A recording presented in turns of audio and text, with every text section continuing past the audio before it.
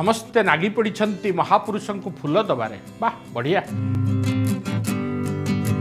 ହଁ ଏଠି ଅନ୍ୟ ମହାପୁରୁଷ ମାନେ ବି ଅଛନ୍ତି ସମସ୍ତଙ୍କୁ ଦିଆଯାଉଛି ଫୁଲ। ଅ ବଢ଼ିଆ।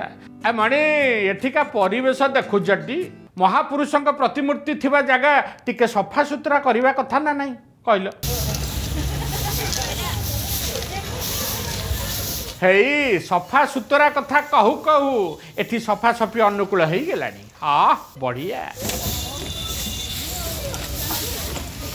ଯାହା ଲାଗୁଛି ଅତିଥିମାନେ ପରିବେଶ ପରିସ୍ଥିତି ଦେଖିକି କଥାଟା ବୋଧେ ବୁଝିଗଲେ ଆଉ ତାପରେ କାମରେ ଲାଗିଗଲେ।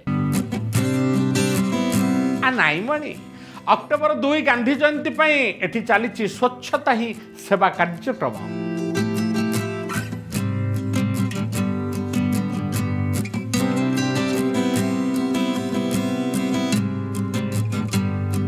ଜେଗାମୁଣ୍ଡ ବୋରିଗୁମା ନୂଆ ବସଷ୍ଟାଣ୍ଡ ଏଠି ବୋରିଗୁମା ବିଡିଓ ସନ୍ଧ୍ୟାରାଣୀ ସମରଥ ଅତିରିକ୍ତ ଯନ୍ତ୍ରୀ ବ୍ଲକ କର୍ମଚାରୀ ଓ ବୋରିଗୁମାର ମାନ୍ୟଗଣ୍ୟ ବ୍ୟକ୍ତି ପହଞ୍ଚିଛନ୍ତି। ଅ ବଢ଼ିଆ।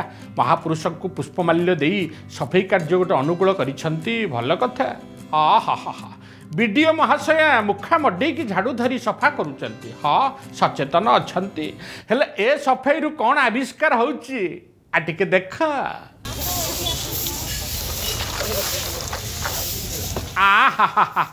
যা বলে যা। আর ইয়ে তাহলে আকাশ পানি বোতল? ও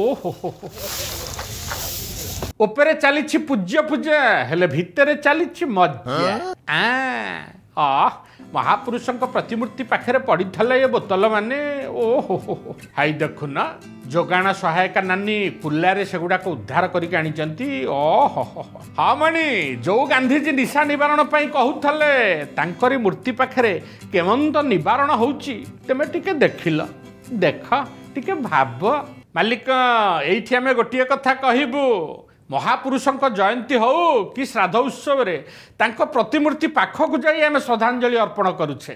ସେ ଥାନ ସଫାସୁତୁରା କରୁଛେ। ଅନ୍ୟ ସମୟରେ କାହିଁକି ନୁହେଁ? ଆ ଆ ମଦୁଆ ସେଠି ଯାଇକି ମଦ ପିଉଛନ୍ତି ଆଉ ସମସ୍ତେ ଏଠି ନିରବ ଦ୍ରଷ୍ଟା। କାହାକୁ କହିବା? ହଁ ପ୍ରଶାସନ ଯେମିତି ଆମ ଲୋକ ବି ସେମିତି। କ'ଣ କହିବ?